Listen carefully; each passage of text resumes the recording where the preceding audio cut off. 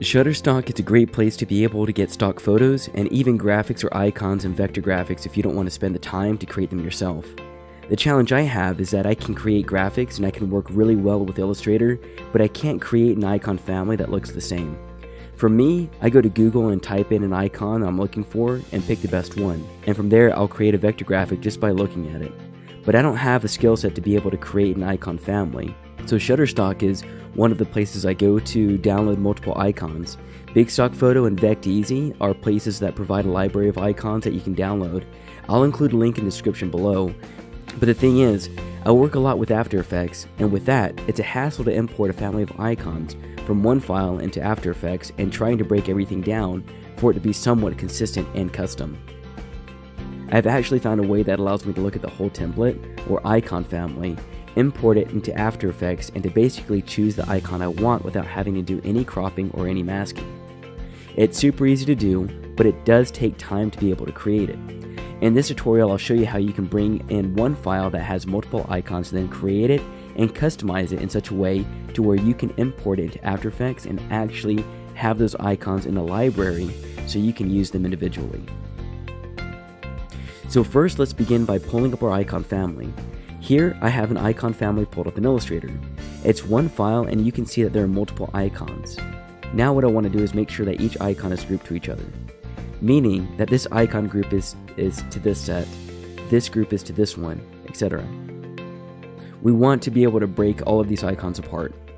So what you can do is, for example, if we were to have 20 icons, 9 icons, 100 icons, or even 500 icons, we want to create that many layers in our layer palette so we can bring it over each image into each layer.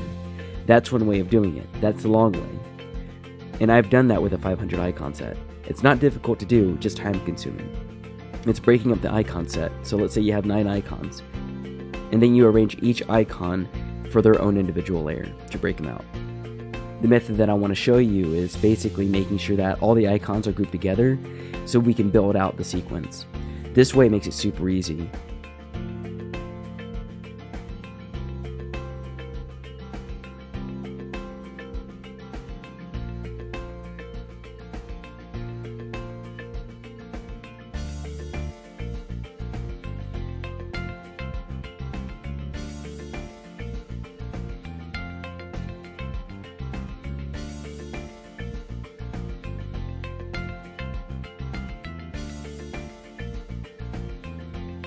Now we have to label each layer so when we import into After Effects, it'll become searchable, meaning that I'll be able to search for it in my search bar and find it without having to scroll through a tiny window.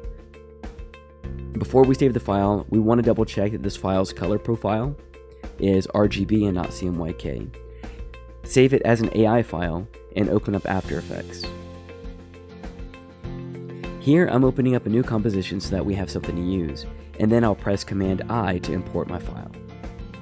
Import the AI file as footage and keep Illustrator slash PDF slash EPS sequence unchecked. Click Open. The import kind should be composition. Footage dimensions should be layer size and click OK. You should see a new composition named the same name as the file we had just imported, and you should also see a folder with a collapsible arrow that is the same name as the file.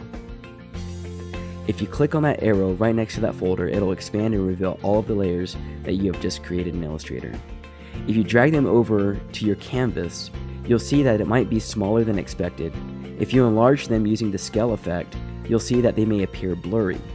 Just go down to your layer properties and enable continuous rasterize, and it should be sharper now. I hope this helps you out and saves you some time. For me, it has helped me out to build my library of icons and assets for After Effects.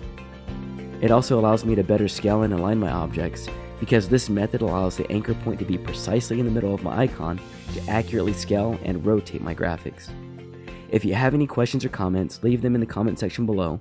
If you want to see more like this, hit the subscribe button. Thanks and take care.